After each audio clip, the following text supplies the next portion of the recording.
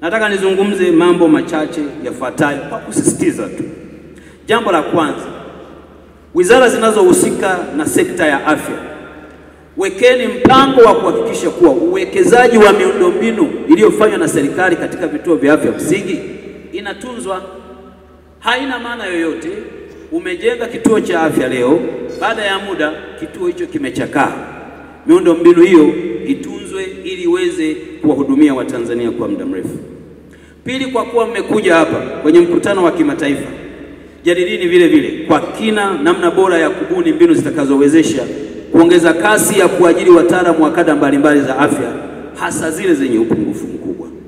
Na tatu, ainisheni mikakati ya utoaji wa elimu ya afya kwa jamii, waelimisheni kuhusu njia za kuzuia magonjwa, umuhimu wa chanjo na njia nyingine za, ku, za kuimarisha afya bora kwa jamii zetu. Nne na mwisho, imarisheni mifumo ya ufuatiliaji na tathmini ya huduma za afya ya msingi ili kuweza kujua utekelezaji wa afua mbalimbali za afya na kutambua maeneo ya kuboresha. Tukifanya haya, sekta yetu ya afya itaimarika pamoja na mambo mengine.